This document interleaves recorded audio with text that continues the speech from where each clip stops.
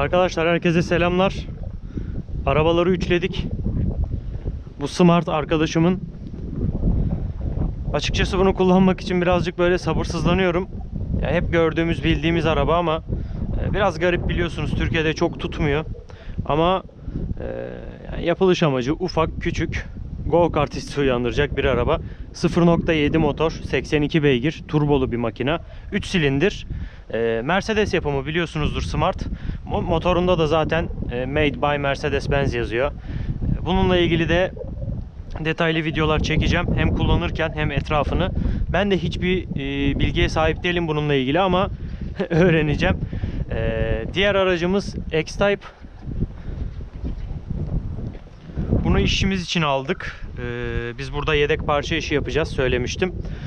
Bu araba jilet olacak, parçalanacak. Burada bu işler çok kolay. E, Bu aracı şirketinizin üzerinize üzerine alıyorsunuz. Ardından hükümetin sitesinden girip aracı trafikten çektiğinizi ve parçalarını satacağınıza dair e, trafikten kaldırıyorsunuz. Parçalarını satıp faturalandırıyorsunuz. Kalan kısmını şasesini satmayacağınız bölgeyi de scrapyard denilen hurdacılara veriyorsunuz. Belgenizi alıyorsunuz. Hurdacı numarasını alıyorsunuz ve araçtan kurtuluyorsunuz. Tamamen yasal bir şey burada.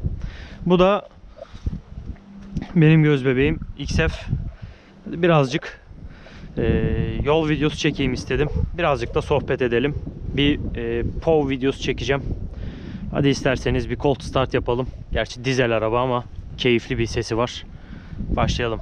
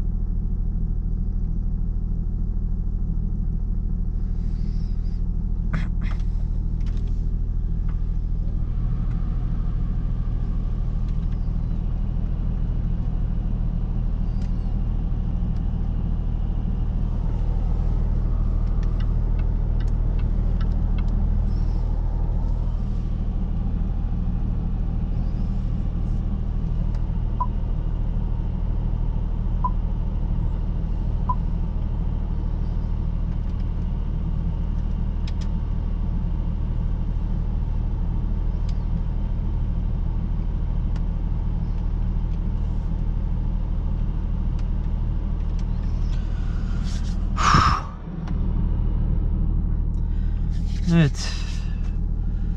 Biliyorsunuz dizel motorlarda öyle çalıştırıp çalıştırmaz. Hemen yürümemek lazım. Hem turbo, çift turbo hem yüksek hacimli dizel. Biraz böyle bir yağ dolaşsın. Yağlama olsun ondan sonra. Şimdi hareket edebiliriz yavaş yavaş.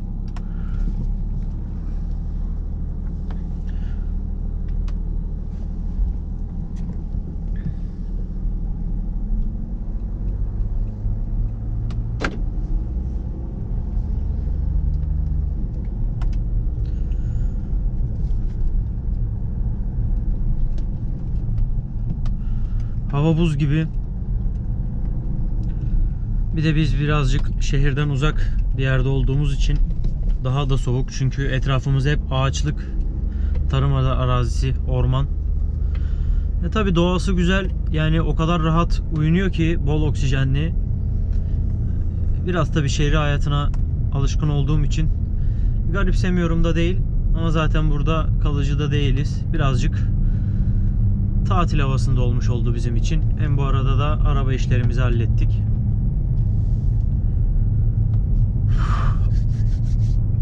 Bu araba neredeyse en dolusu XF'in ama koltuk ısıtma yok. Yani genelde Avrupa modellerinde veya İngiltere'deki ada ülkesi modellerinde koltuk ısıtma çoğunda oluyordu ama bunda yok. Olsaydı mesela ben seviyorum koltuk ısıtmayı. Türkiye'de bile çok işe yarıyordu. Burada hayli hayli yarar. Ama yok.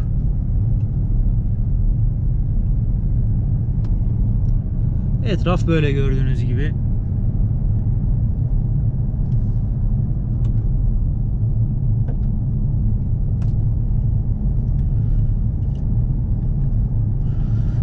Dün Lincoln'den Sheffield'a gittim geldim bu arabayla. Bu arada göstergeyi de yol bilgisayarında e, milden kilometreye çevirdim. Yani bildiğim anladığım şekilde olsun diye. Her şeyi de buraya göre yapacak değiliz. E, ortalamam 6.2 ile geldim. Yani 110 kilometre hız sabit hızla 6.2 yaktı. E, 3000 motor dizel bir araba için e, bu ağırlıkta bir araba için Valla çok güzel bir değer 6.2. Benim 2.0 dizel X-Type'ımda hemen hemen o civarlar yakıyordu uzun yolda zaten. Başarılı. Sheffield'a da gittik. Smart'ı aldık. Smart Roadster. Arkadaşımın daha önceden de e, bir Smart Roadster'ı varmış. Ben bilmiyordum onu. E, görünce ben bunu alacağım dedi. Hem küçük hem dedi çok keyifli bir araba. Valla bilmiyorum henüz kullanmadım binmedim ama e, dışarısı bile böyle dışından bile araba böyle bir eğlenceli duruyor. Onu da kullanıp videosunu çekeceğim sizlere. Bakalım nasıl bir arabaymış. Enteresan bir araba. Yani hem içindeki işte malzemelerin yerleri, koltukları, motoru arkada, işte üstü hardtop var açılıyor. Garip bir araba. Onu da deneyeceğiz. XF ise geniş böyle Jaguar'da ben şeyi seviyordum esasen yani X-Type'ımda böyle kaputtan baktığım zaman kaput heykelini görüyordum orada Jaguar armasını. Bunda yok. Takma yeri var ama kaputun çok ortalarına doğru çok böyle kötü duruyor. Takmayacağım. Ama bunda da şu kaputun şişkinliği çok güzel duruyor. Şişkin bir yapısı var gözüküyor mu bilmiyorum. O hoşuma gidiyor. Gayet güzel.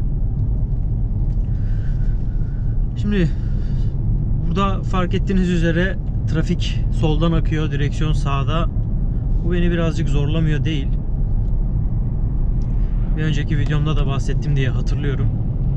Ama alışılmayacak bir şey de değil. Sadece şu şerit araları çok dar. Ya bu köy yollarında dar. Haliyle bazen karşıdan araba geldiğinde, büyük araba geldiğinde veya sağa doğru viraj dönüşlerinde şu önümü kapattığı için bazen zorlanabiliyorum. Bazen böyle şu aynadan bir bakıyorum. Araba şeridin üzerinde gidiyor. Tam ortalayamamışım. Ama daha bugün takdir ederseniz 3. 4. günüm burada. E, alışacağım. E, XF de büyük bir araba. E, ona da alışacağız. Keyifli mi? Çok keyifli. Gaza basınca kükrüyor. E, biraz önce cold start kısmında da böyle araba gürül gürül çalışıyor. V motorun vermiş olduğu ses o. Hani dizel araba ama ilk çalıştırmada böyle veya içerisine gaza bastığınız zaman sanki dizel değil de benzinli V6'ymış gibi gürül gürül bir ses yapıyor. Çok hoşuma gidiyor bu. Yakıt tüketimi de güzel. Bakalım şu an 207 bin kilometrede yani 128 bin mil filan. O da kilometre olarak gayet iyi.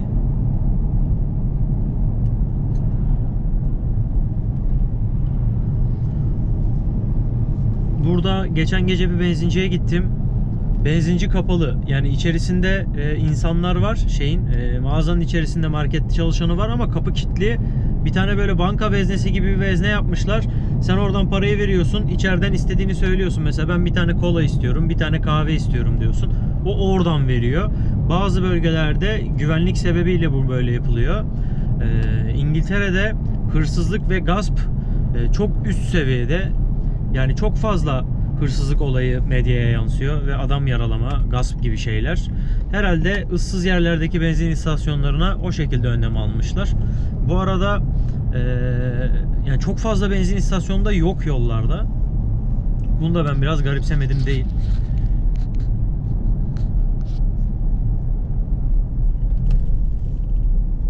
Mazotun litresi 1.12, benzinin litresi 1.26. Aa bak burada çok güzel bir köy var. Birazcık içerisini gezdireyim size. Evleri görüyor musunuz?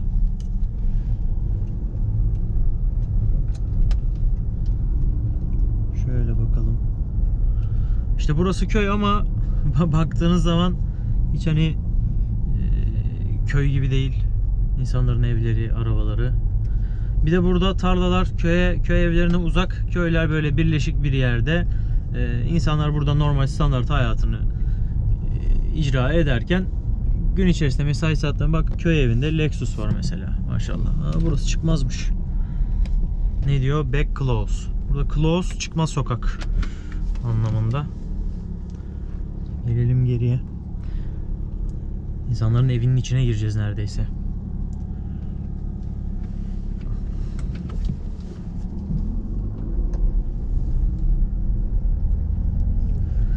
Chestnut Way.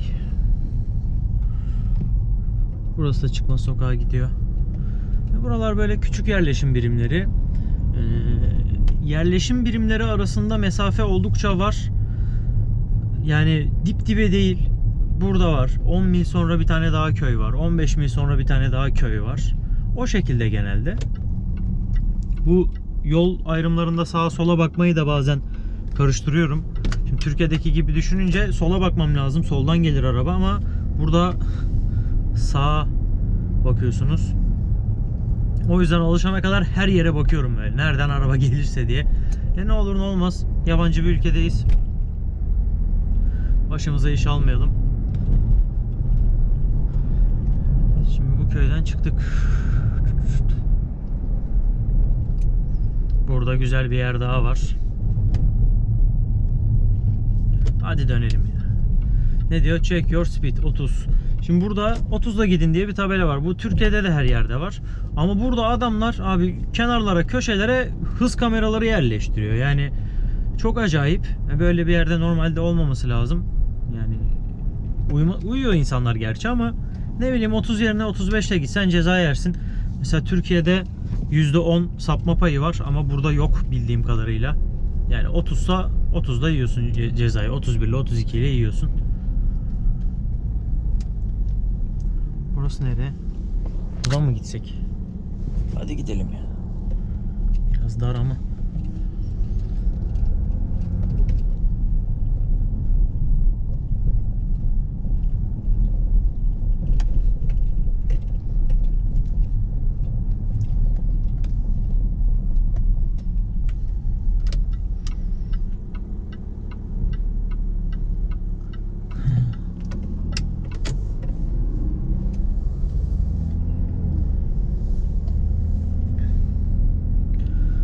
Burada yakıtı kendiniz dolduruyorsunuz araca. Ee, Benzin istasyonunda pompacılar yok. Sadece market görevlisi var. Ben de Shell'den yakıt alıyordum. Yani şimdi kırmızı etiketi gördüm. V-Power yazıyor. Ben de yani dizel diye bastım pompaya. Pompa atıyor. Ben basıyorum o atıyor. 2 litreye kadar zorladım. En son bir baktım petrol yazıyor. Mazot yerine benzin almışım 2 litre. Valla elim ayağım birbirine girdi. Daha dakika bir gol bir. Yol bilmiyoruz, iz bilmiyoruz. Ne yapacağız dedim bu şekilde. Ha bak bir araba geliyor. Ona böyle yol verelim. Kaldırıma çıkıp. Hemen böyle selam veriyorlar. Teşekkür ediyorlar. Yani teşekkür etmeyeni görmedim 3-4 gündür. Yani insanlar birbirine yol vermek için yarışıyor. Bu çok hoş bir şey. Yani güzel bir kibarlık. Bir de burada çok tehlikeli bir şey var Türkiye'den farklı olarak. Ee, selektör kullanımı. Burada selektör yol vermek anlamında. Yani siz gidiyorsunuz çevre yolunda. Önünüzde bir araba var. Ee, sinyal yaktı. sol şeritten e, ne bileyim önünüze geçecek. Siz de Türkiye'de olsa ne yaparız? Uyarırız. Hani geçme ben hızlı geliyorum diye selektör yakarsın. İşte bak mesela burada selektör yaptım. Şu an geçecek. Geçti. Ee, ne yaparız biz? Selektör yaparız. Uyarırız. Geçme ben geliyorum hızlı geliyorum diye. Ama burada tam tersi. Burada selektör yaparsan e, yol vermiş oluyorsun. Haliyle buna da biraz alışmak zor oluyor. Dün e, birkaç kişiye öyle selektör yaptım. Hemen yola atladılar. Sizin kaçla geldiğiniz önemli değil. Bazen e, siz arkanızdan gelene yol veriyorsunuz. Bazen önünüzdeki size siz yavaş gitseniz bile bekliyor siz geçin diye. Selektör ve yaktığınız zaman yol vermiş oluyorsunuz yani. Bu şekilde cümleyi böyle toparlayayım. Biraz karman çorman oldu. E tabii ki bu tarz kurallara alışacağız. Bazı e, yol tabelaları farklı bizim oradan. İşte yerdeki yaya geçidi e, işaretleri farklı. Yani bunlara alışacağız zamanla. Tabii ki ben de az çok işte telefona uygulama indirdim. Oradan da bakıyorum, okuyorum işte kuralları. Şimdi sonuçta biz birkaç ay sonra İngiliz ehliyetine başvuracağız. Bizim Türkiye ehliyetinin geçerliliği burada bir sene. Bir sene sonra bu ehliyeti ben burada kullanamıyorum. Haliyle İngiliz ehliyeti almam lazım. Onun için de şimdiden kurallara bakmaya başladım. Hem o zaman alacağım ehliyet için hem de şu an trafikte bir aksiyonla karşılaşmayalım diye bakıyorum kurallara. Şimdi yolumuz düzlük gibi bir sporta alalım. Şuradan bakalım, basalım Dynamic mod. Kulakçıktan vites alalım. Eh, seni be. Oo Ferrari. Ferrari güzelmiş. Oo dinamik mod çok keyifli.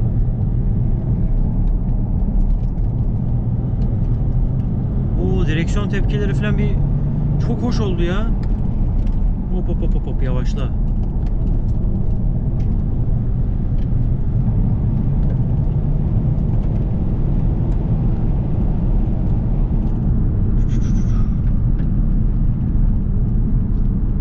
Gerçekten sport modda araba böyle bir coşuyor. Hem vitesten sportu aldım hem kulakçıktan kullanıyorum hem de şurada bir tuş var el freninin yanında Dynamic mod diye. Sanırım gaz tepkileri ve direksiyon hareketlerini değiştiriyor. O arabanın o böyle konforlu böyle tıs tıs giden hali gitti. Bir garip oldu araba böyle bir başka geldi yani. Bu arada XF'ler arkadan itişli. Ama henüz arkadan itişini değerlendiremedim. Sağdan direksiyon olduğu için biraz alışmam zor olacak. Normalde BMW kullanırken çok keyif aldığım bir şeydi arkadan itişli arabada böyle birazcık arkayı kıvrandırmak. Buna da alışırız. Uf, yavaşlayalım artık.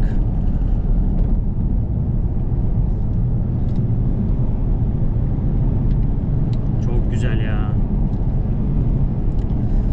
Eve yaklaştık. Artık eve dönelim arkadaşlar. Böyle bir video çekmek istedim. Hem size etrafı gezdireyim. Ee, hem XF ile ilgili konuşalım. Hem tersten akan trafikle ilgili konuşalım diye. Umarım beğenmişsinizdir, sıkılmamışsınızdır. Bu tarz videolarda genelde konuşulmuyor ama e, bana gelen yorumlar doğrultusunda ben e, konuşmak istedim. Bir şeyler anlatmak istedim. Atladığım bir şey varsa veya sizin merak ettiğiniz bir şey varsa yorumlar kısmına yazabilirsiniz.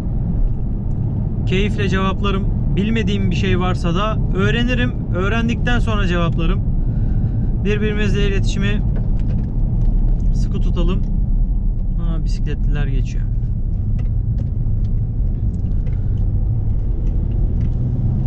Ot. Aslanım. Bu şekilde. Videoların devamı gelecek. Lütfen beğendiyseniz paylaşın, abone olun. Bana destek olursanız ben de daha fazla video çekebilirim. Haliyle bu işler böyle biliyorsunuz. Ben gerçi hani öyle çok fazla bakmıyorum. Kaç kişi beğenmiş, kaç kişi takip etmiş diye. Ortalama bir senedir filan videolarımı çekiyorum. Yine de çekmeye devam edeceğim. Benim anlatacaklarım bu şekilde. Evimize geldik. Park edelim. Dinamik moddan da çıkaralım arabayı kurtaralım abi. Ay boşa almışız ya. Geri görüş kamerası da var ama çok da güzel değil gibi. Aman smart'a vurmayalım ilk günden.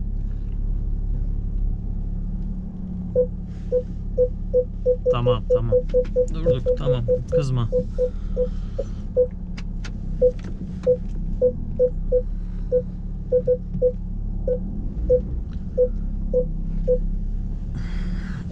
Ay. Bu kameranın daha yüksek çözünürlüklüsünü bulursam değiştireceğim. Bakalım.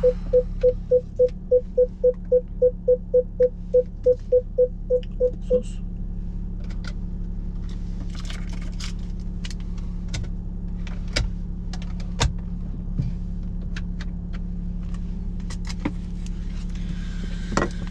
Evet. Görüşmek üzere.